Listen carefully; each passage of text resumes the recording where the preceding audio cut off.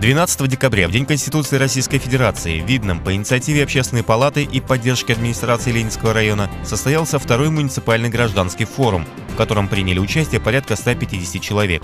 Глава района Олег Хромов поблагодарил всех, кто решил принять участие в форуме, а также отметил важность этого мероприятия в решении имеющихся в муниципалитете проблем. Только вместе, объединив усилия, можно найти оптимальные пути решения самых непростых вопросов, чтобы двигаться дальше.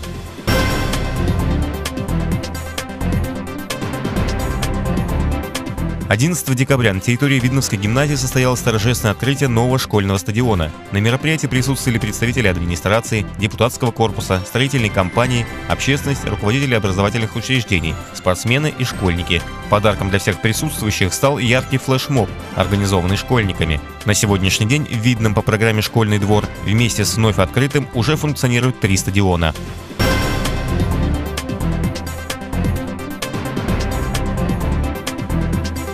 Глава района Олег Хромов провел встречу с руководителями и представителями управляющих компаний. Цель встречи – наладить коммуникации для совместного и оперативного решения проблем и задач муниципального образования в сфере жилищно-коммунального хозяйства.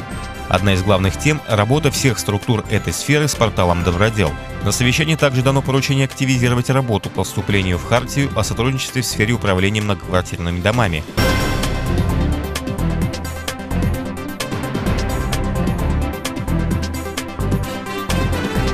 15 декабря в городе Видное будут отмечать День чая. В программе выставка, презентация, дегустация, а также возможность приобретения необычных сортов чая. Всех ценителей чая и не только ждут с 11 до 20 часов в Центральной библиотеке.